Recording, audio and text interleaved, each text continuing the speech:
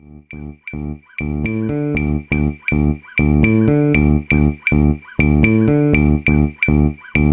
you.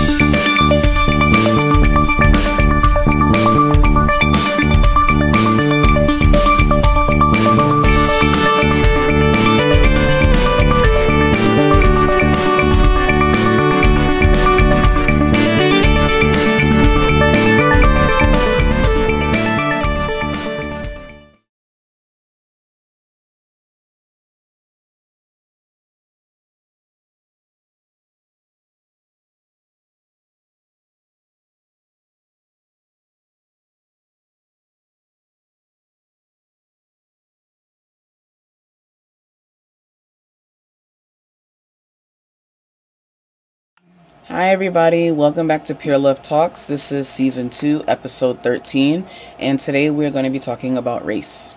Hey, everybody. Uh, so, this is uh, hopefully the conversation on everybody's uh, lips, brains, uh, talking about race and what's going on racism, anti blackness, and police brutality, police murders. Uh, all of the rallies, uh, the protests, everything that's happening in the world right now. Um, it's a lot right? And so we're thinking about how are parents talking to their uh, children about it, but more specifically, I should say, how are white parents talking to their children? Um, because people of color have been talking to their kids about racism from day one, from the moment they pop out, the moment they're adopted, the moment they come. You have to talk about race. We have to talk about white supremacy, and we have to talk about all of, all of the ways in which the world has created barriers for us and how we navigate those barriers, right? To succeed and to live, even just to live. So, what are white parents doing? Well, um, I mean, obviously, you know, we don't know what they're telling their children, but we do have, you know, suggestions and ideas of what should be discussed or at least, you know, brought up in these conversations because it's not just one conversation. There's multiple conversations that have to happen about many different things and different types of people. Um, and then that goes for parents uh, who are white who have white children and then parents who are white who have poc children children. Because you know you have to approach that a little bit differently. Um, just like you were saying how um, people of color we talk about race constantly because it's for survival. And if we don't know how the world works it's going to bite us in a very obvious way. Um, a lot of times with white people and their whiteness, they don't even realize their privilege or their whiteness or the fact that they're racist until much later in their lives. And for us, you know, it's an instant thing. So, you know, there's a huge learning gap there that's happening where we're not getting the same lessons and we're not living the same lives or at least living in the same world right. because my world is totally different from somebody else who doesn't even think about race at all well think about race at all right. so you know we have different experiences different feelings different just energies completely because I know what it's like to be afraid to be like, okay, I'm darker than everybody here. Who's going to bring it up? Who's going to bother me? Is somebody going to try to attack me? Is there going to be some type of violence here? Do I have to worry about police presence? And, you know, like, who's with me? Do I have, you know, like, there's so many things that go through your head whenever you leave your house, or I'm going to be in a public space, or I'm going to, you know, like, so many things that we have to worry about just to make sure we get home alive. And now more than ever, you know, um, people for whatever reason, or maybe all the things lined up or so that people are talking about anti-blackness in a much bigger way than they ever have. Because anti-blackness has existed for so damn long um, with and there have been so many murders by police um, and now now people are getting a, a different reality, um, understanding it a little differently, um, trying to take steps uh, to move further. Uh, I know in my life uh, there have been uh, many um, white, I would say, white folks who are in solidarity, really stepping up and um, making some shifts in how they address um, white supremacy, how they're going to help dismantle structural the structural um, racism, and so we're thinking about how white parents do that at home. And of course, this is really important. And there, after the video, we're gonna have uh, bunches of uh, articles, uh, podcasts, and Links. uh, links um, to pieces that um, have a lot of opinions on how we can talk to our kids about this. There's one in there about um, how I think the title is. Uh, it's something about uh, not raising a um, a white child who's going to call the cops. Uh, and so there's a lot of good resources in there. So I really encourage people to look through uh, the resources. Um, and you know, when we think about race, we we kind of treat race almost like sex in a way. The conversations, uh, the talk. When we say the talk, I mean the talk is the talk about sex, and then there's the talk about race, uh, race relations, racism, anti-blackness, and um, that has to happen from you know from the from little from you know like as early as uh, six months old i think a child is distinguishing the difference between um, you know um, race uh, and then in they're in elementary school. They are seeing that people are different. They're really realizing, oh, people look different than me, and why is that, right? And so a lot of times kids don't get to talk about that. People of color get to talk about that a lot because you have to navigate that stuff. But white people really don't have to and that's the that's a big piece that piece of not having to that is privilege. That is so privileged. So have you um, have you been um, you know um, what is it the word i'm looking for? Have you been no that is privilege right? And so we want to think about how privilege shows up in your life right? And like how do you begin to have these conversations. And I think it's all around us to have these conversations, all around us.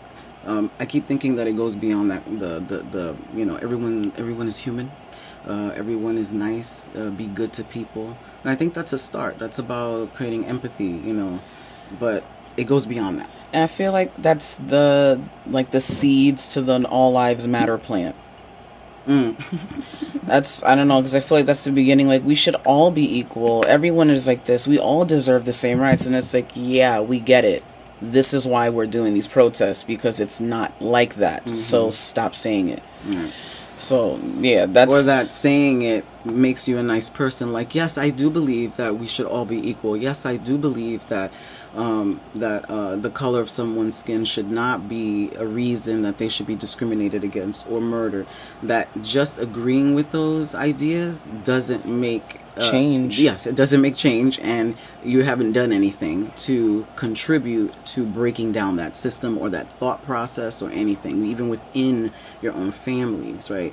So, what what does that look like, right? That looks like uh, reading lots of good books. That's like um, you know taking some uh, classes. That's like learning your history. That's like um, reevaluating who is in your life. Um, there's a great article at the end to um, uh, a woman, and I can't forget, remember her name right now, but uh, wrote an article because she's a black woman who white parents uh, were calling her her friends and saying, "How do I talk to my kids about race?" And so she decided to write this piece, and in it she has like a little quiz, a little quiz in it to ask you all of these questions about yourself, white people, questions about yourself to see where you are um, and what you show your kids, right? Because you can tell your kids, you know, black people are just, they're human just like everyone else. They deserve the same rights. But do you actually have uh, people of color, black people that are in your life? I mean, really in your life. Like you are like having a relationship, a friendship, you're growing with them that, that your kids could stay with them, you know, like that you trust them. Do you have people like that in your life? And there's a bunch of little questions that really show how people are sometimes so immersed in their whiteness and they really don't see. Um, I also think that part of that too for POC parents, um, and also white parents with POC children is, and I know the hard part of that is to teach them about society and the world and what's happening, but not instilling pure fear or just Right. pure rage inside of them. You know, like, because I know it's easy to be like, oh, you know, like all cops are like this and the government is like this and all white people are like this you know if you're angry enough or if you're seeing enough injustice but you know, obviously we all know not all white people believe these things, act mm. this way, and or associate with people who act that way or believe those things. But, you know, that's bec- because of the majority of what we see. That's what you know we believe or expect sometimes. But I I understand that it's difficult because I myself am struggling with how to try to convey this to my son that you know it's like I want to say, you know, it, like I mean, this might sound terrible, but like, oh, you know, you have a target on your back, but then at mm. the same time, enjoy your life. So it, it's kind of hard to mm. give that same message in the same sentence. And I mean, and it's harder for me too because I live that on a day to day basis. Like, there's so many things that I'm like, I don't think I should do that because I don't know what the crowd is gonna be like. I don't know if you know if there's cops out there. Like, it just there's so many things that I have to consider before I do a lot of things. Mm. Um, and I don't like being afraid to do things because I'm afraid of violence in some way, shape, or form. And I want my son to be not carefree, but I want him to you know, be excited for things. I want him to live his life fully, and I don't want him to live in fear because, you know, it's not fair and it's not his fault that any of this is happening, and I don't want him to go through life feeling this weight on his shoulders mm-hmm. about who he is or his place in this world. So that's difficult for me to try to tell him, you know, if you're in danger, you know, or if something's happening, call 911 if anything happens, and then at the same time, like, oh, but be careful and make sure that you have your ID present and make sure that you're not waving your arms around, or right. make sure that you're not wearing a hoodie, make sure your hands are not in your pocket, make sure you're doing this, and make sure you, like, identify yourself that you're the person who called and that you live here before you get any help because of all these examples of these horrible things that have happened. So, I don't know. I struggle with that all the time. Like, I'm glad that now he's a baby, so I have time to, like, try to figure out the way to deliver the message to him, but I definitely struggle with not making him afraid or angry and going through life, like, mm. still wanting to try things, still wanting to go places and meet other people. You know, right now when you were just talking and saying like how you have to prepare and say, you know, don't put your, you know, have your hands in your pocket with a hoodie and all that stuff um, it, it really took me back to when you were a kid because I remember having conversations with you oh, that it was it was about um, sexuality and um, you know um, violence against her as a, as a woman uh, you know as a female bodied person. And so we had a lot of things that we talked about you know. It was like do you have this? Do you have that? You got your phone? Tell me this. Don't leave your friend behind. Remember don't leave a drink behind all of the things, right? And it just makes me think about, in terms of when I think about the uh, the ways in which um, shit happens and the information that people get, and because of uh, racism and oppression, that we have like uh, people of color or uh, people of color families or black families uh, that um, completely talk about race because that is a necessary thing. It's always there. it is present consistently, right? But less talk about um, sex, sexuality, gender, and things like that. And then we have white families that have those resources, have these things, and then um, have the ability to have their kids in schools that do have that. Um, teachings and parents um, talk to their kids a little bit more about sex and gender. Now, I'm totally generalizing here. Um, but don't talk about race. Right. So there definitely needs to be a, a shifting a little bit to talk about all of these things because they're um, uh, uh, we're talking about race, but I'm also you know I raised a black woman, right? So we're talking about race, and then on top of that, we got to be talking about all the shit that happens with sexism um, and how to navigate that, you know. And so when we're when we're talking to our um, children of color and we're preparing them around sex and sexuality and gender, then we one we expand their minds of things that so when um, you know that our ideas of who are uh, what a woman is, what a man is, how a woman should behave or a man should behave, or who should be dating who and how people should be having sex or whatever. Those things are shifted, expanded it's not such a, a, a foreign thing, you know, that is so scary that it would shift the behavior, it would shift so many things, right? And on the other hand, if we had white parents talking to their children uh, about race, that would do the same. And when I say talking, it, like you you have a lot of experience with this because Mandy went to a pretty much all white um, Until middle high school, school. middle school up until you went to high school. That's when you went to like an all black um, high school because you so you needed it basically. You you begged for that, right? And that experience, I remember how I behaved um, and how I had to, how I felt like I had to behave, and what I had, the information I had to give you in order to navigate white space, right? Yeah, it was. It's it was always such a. It's like two different worlds, hanging out with my friends or going to school with them or going to their houses and then going to my house or my grandmother's house or cousins and stuff like that. It was so so so so different. So I feel like I I'm always I was always like a foot in each world for so long. Um but I did notice like a lot of differences, lots of differences in the way that um, the parents speak to their kids. I feel like,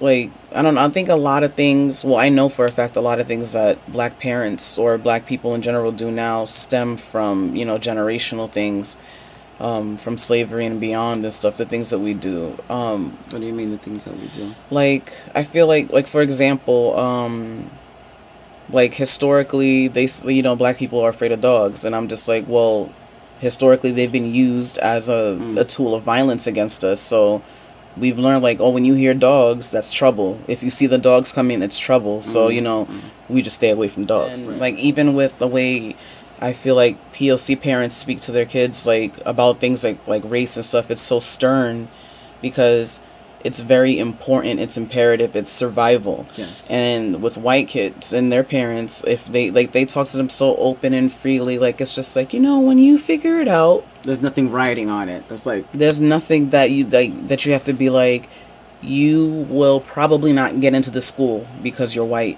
you probably won't get this job because you're white they probably will not hire you because your hair is too straight um, i don't really think they like your freckles. It might not go with the aesthetic of the restaurant. Um, is your hair naturally curly? Could you straighten it? Do you have you ever heard of a relaxer? Like, so you know like they navigate so differently. It's like oh you want to do that? Then great. Yeah let's like look into programs or something. And on the other hand it's like ooh do i have the money? Is it exclusive? Is it this? Is it that? So you know again two totally different worlds. It's it's like it's just so different it's really really different when you live based on survival and when you just live and also the way I had to interact with the school with her. Um, you, I was called a lot because um, because uh, Mandy had opinions, and so they didn't like that. They didn't like her talking, and so they they deemed her a troublemaker. The my my specific title was safety issue. That was what was always said. I'm a a safety, safety issue.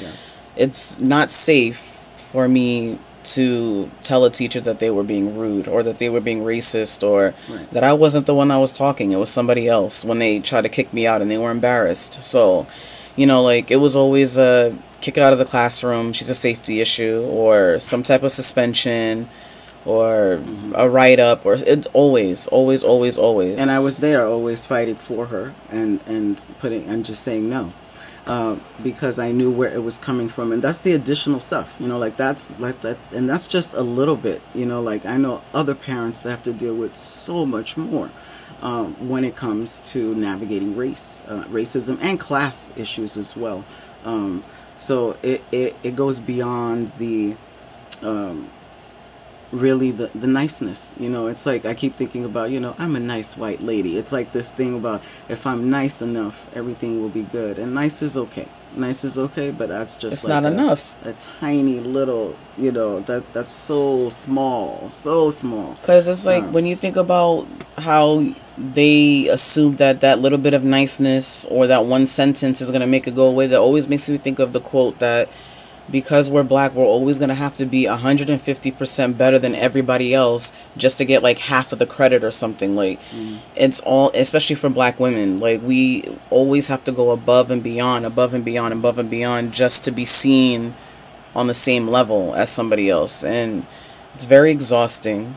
And then I always get that, oh, you're so angry, you're so aggressive, you're so this. And I'm like, if you lived in the reality that I lived in, you would be pretty upset too. Like how I have to take a train for like, you know, a half an hour and just seeing the complete difference in how the neighborhood is structured. Mm. How you guys have more parks that are clean, how you guys, you know, have a full library in your school when there's schools in Brooklyn that don't have anything. Like there's no library, there's no art class, there's no music class, there's no sports and then going to a middle school where they're like, oh, I'm taking violin and piano, and then I have Chinese on Saturdays, and then I'm on soccer, and then I was just like, Much it blew resources. It blew my mind. I'm just like, wow. Like I know kids whose parents work like three jobs just so they could go to dance classes. Like, not even at Alvin Ailey. Like just for some regular dance classes. So I'm like, it's again, it's so different, and I'm just like seeing the differences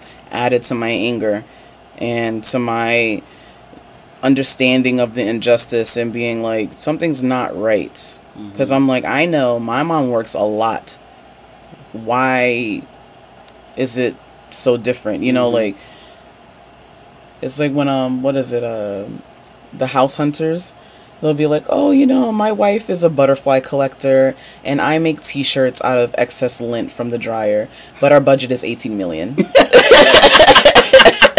and it's just like wow that must be nice. Because you know like my dad was a cop and has a pension and then my mom was a nurse and did all this shit. You know what i got? I i got a rusty honda from 1950 or something. So you know like it's the differences are ridiculous. So I, am thinking about um, um, the ways and I, I keep saying like the way i had to behave with um, um, when talking to white parents. Um, My principal. How how um, how I used to tell you how to be, right when when you were with them, um, and also checking too to see how they're responding to her, right? Because I always want to know how are they treating you. You know how what, what's going on because because it's happened many a time, right? And so. Uh, think about this, right? Let's. So I had this little experience with Joaquin, even my little sweet potato, right? Um, where he was playing with uh, a little child who's white, and little kid is sweet, and parents have taught her how to, you know, tell the truth, be nice, be honest, you know, don't lie. Good, right? But even something as simple as that, um, without having any context uh, around race or class or any kind of intersectional analysis really shifts things, right? Because like um, she kept uh, when Joaquin was playing with her, she kept telling on him over and over. You know, like he's doing this and he's doing that and he's touching this and he's touching that and over and over and over. Um, it, it kept reminding me of the when white people call cops.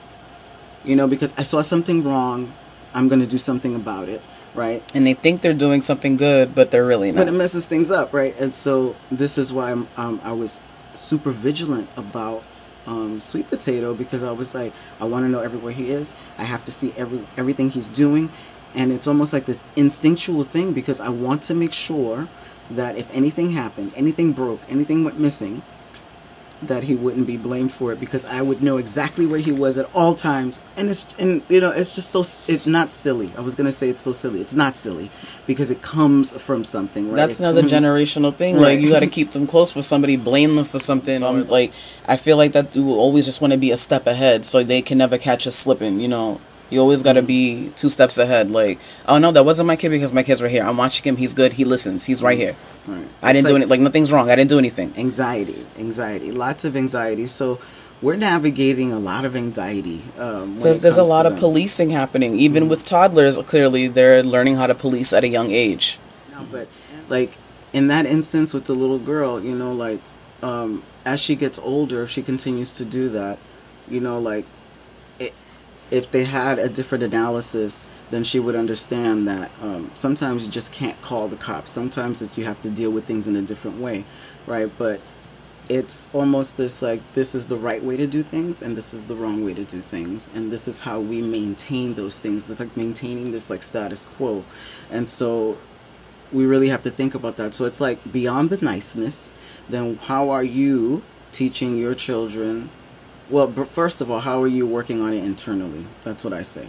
Starts with you. Internally. And then how are you teaching your kids about it interpersonally as well like how they behave with other people?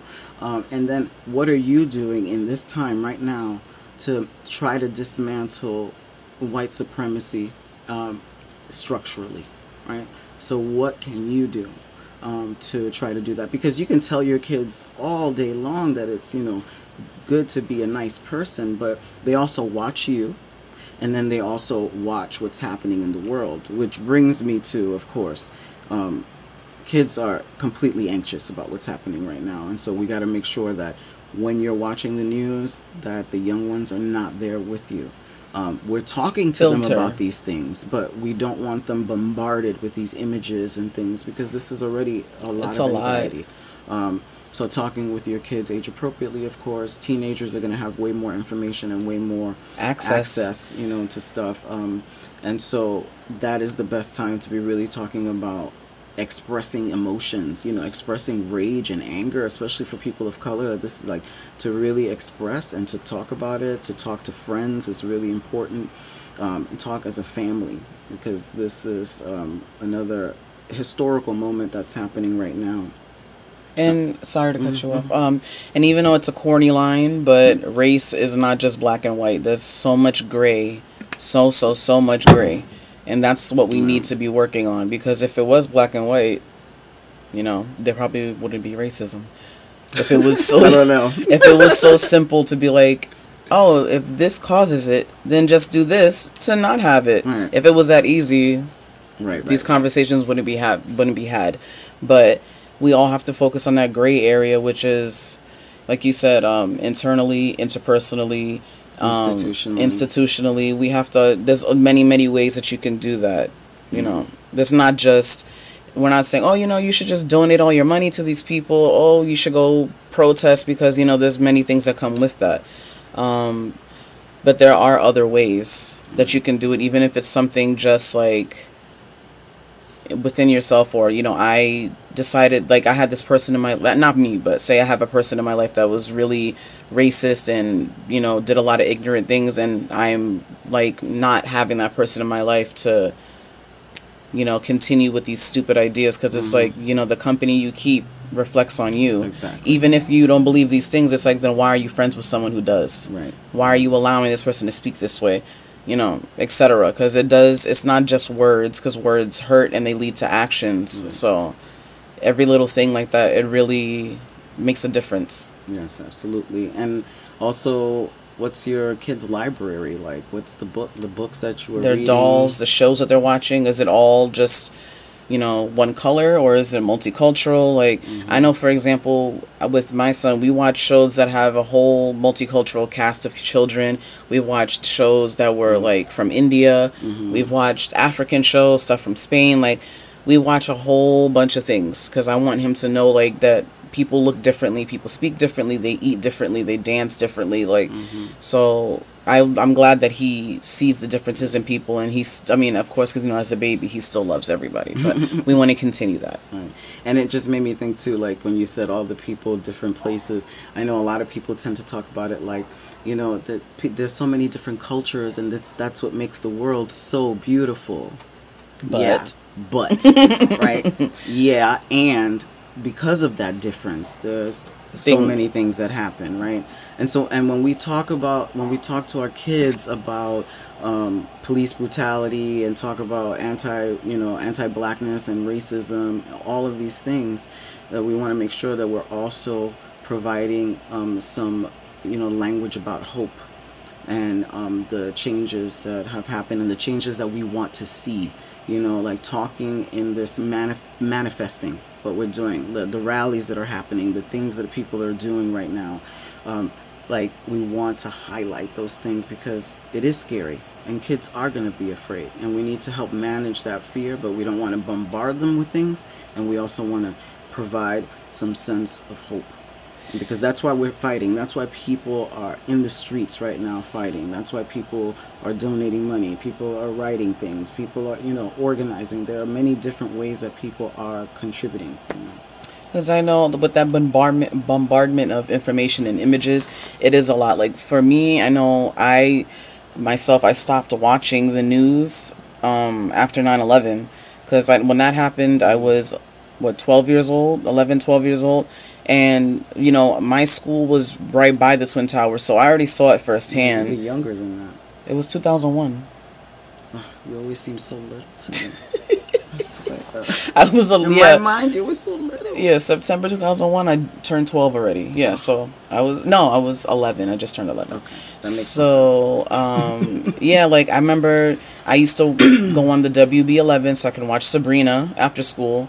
And then it was just news, news, news on every channel for days and days and days. And I was just like, I'm so tired of seeing this. I don't want to see this anymore. Mm. Like, to see people jumping out of buildings and bleeding and dying and covered in dust. Like, I'm like, why do I need to see this every single day? Like, we know how mm. bad it was. So I'm just like, that after that, like, you see how long it's been. I ha- I don't watch the news at all unless someone else is watching it and I'm forced to wait until they change the channel. But I personally do not like to watch it because it's all about fear, and it's never like to give anything positive. And if you watch the news like that all the time, it's just gonna make you afraid. And you have to filter that with the children. You know, like they need the information, but they also need, like you said, the hope. And I wouldn't say don't watch the news because at least you're getting information Oh, no, about yeah. the news, right? That, that's my decision, Right. personal decision. Still get the information about the news Other we need to know what's happening in the world. But you know, um, yes, and um, you know, think about. I also think about like uh, teenagers, right? What if your kid went and started dating someone who was black? It would that be the first time that you would have talked about anything about race, anti-blackness, or anything, right? Um, again, the talk, the race talk, the sex talk. These things should be talked about consistently, always and forever. I don't care if you live in the whitest city in America. You should always be talking about race and anti-blackness because even though you might not have people around you, you have a TV, you have and it's computer, ingrained in our entire society. You can't miss it. There you cannot books, miss it. there are things right you you know that there are other people that exist in the world and the hardships and struggles that people have had to endure right so we need to be talking about historically right because this is not new right when we talk to our kids about race and anti-blackness it doesn't start right here and the murder of black people by cops has been going on since they were overseers. And then after slavery ended, they got these little badges to help, you know, find missing blacks. And after that, it continues. So we've been being murdered since day one. Mm-hmm. This is not anything new. It's just, this is the first time in history that people are recording the deaths. So we have evidence of it. And we can actually see for like right before our eyes that it is police brutality police brutality. And mm-hmm. it's not a oh maybe that we're seeing it that these people are being murdered for no reason. So it's a different reaction now than just hearing about it or hearing a news story. You're seeing somebody dying in front of you. Mm-hmm. So it's very very different to have it in your face. Mm-hmm. And this is not just about police brutality. It's about anti-blackness in, in general right? And how uh, black people are seen and viewed in this world because we could also talk about the murders of black trans women right? And so this is again talking about race and talking about sex and sexuality and gender right? The importance of that because these women were seen as a throwaway as throwaway and not important right? So we're talking about the- their value. Yeah, value exactly value, and so there are the murders, the the enormous murder of black trans women and and uh, trans women of color, and the murders of the by police. And we see this. People are recording it. I mean, I am back watching all of the protests and rallies about, and, and you see the recordings, you see the proof right there, and time and time again, the injustice that continues to happen. And this is this is why we're here in this moment continuing continuing and so it is the perfect opportunity.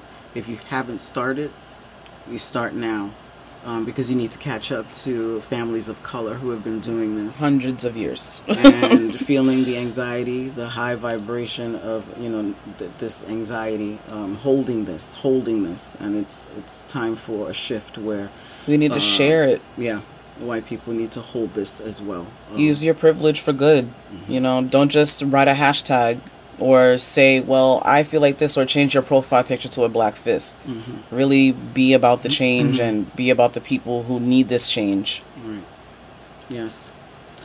Yes, and and think about it. And, and one one thing, the last thing I'll say about this is to also make sure, just really make sure that if you want to be an ally or be in solidarity with folks, that you are not speaking for people of color. don't take up space Just don't. don't.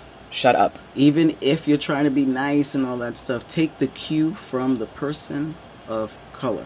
let them speak about their experience don't speak for them you'll never understand So just please do that, even if in the nicest way. Sometimes those instances just it just doesn't work. It just doesn't work, right? And also, I said that was the last thing. That's a lie. I wanted to add um, that you know the thing about uh, white fragility. You know, right now where people are understanding their white privilege and um, you know white supremacy and all of this stuff that um, people white people are just feeling you know so they beside want themselves they want to be held but we're not going to hold you and really it's okay to feel that it is okay to feel that because that is your process but we cannot hold that. We cannot hold that and we cannot have you place that fragility um, at the center of this conversation about race.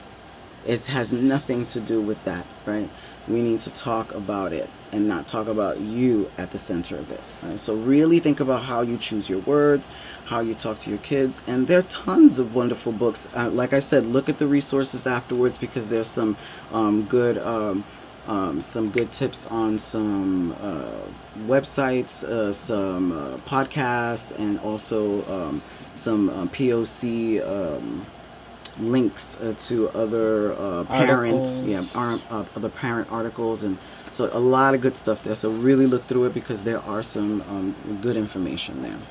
Uh, so um, yeah, this is just a, a little, you know, tip of the iceberg, something to really Very put tip. out there um, to really, really think about how you're talking about this. And you mentioned too parents who have biracial children, uh, parents who white parents who have adopted uh, uh, black children or POC children. Like that's a whole nother conversation it is. It's a bigger conversation, but it is definitely about how are you um, talking about it? How are you behaving around it? What are you actually showing? What do you believe? And are you contributing to the systematic racism and oppression of people of color? Even in your small, tiny way of not educating your child is contributing. So think about it, because race is the uh, when I said race is the other four-letter word. The title of this thing is because we oft, often think that love will just do everything. No, race. We need to talk about race. You racism. thought that 50 years ago in the 60s, remember? It is so time. It is so time. So I put you to the task. Um, um, for white parents, please talk to your children, do your homework, Talk educate yourself. yourselves, educate yourselves, uh, and do your part to help dismantle this fucked up racist uh, system that we currently live in. Yes. Right? And stay safe, love each other, and above all, stay black.